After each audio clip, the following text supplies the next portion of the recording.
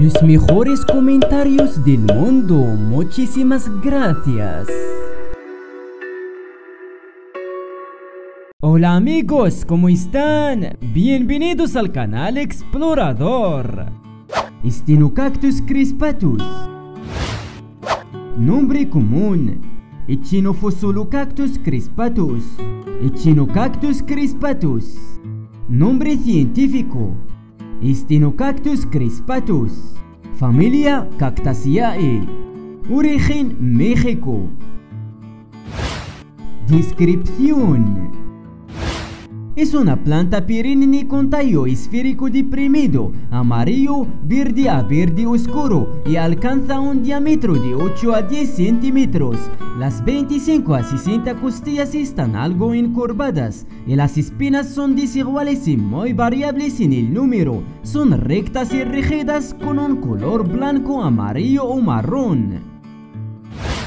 Flores. Las flores son de color violeta púrpura, por lo general aparecen en las puntas de los brotes y miden de 2 a 4 centímetros de largo y tienen una forma de tubo escamosa claramente pronunciada y la floración se encuentran en dos filas.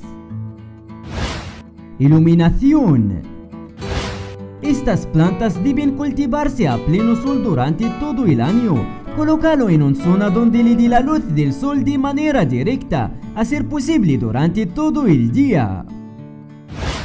Temperaturas Crecen mejor bajo la influencia de temperaturas frescas a cálidas que se mantengan entre los 16 grados a 30 grados durante todo el año. No toleran temperaturas inferiores a los 4 grados.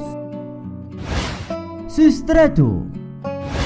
Puedes usar turba negra mezclada con perlita a partes iguales o bien optar por utilizar sustratos arenosos como acadama, pomice o arena de río.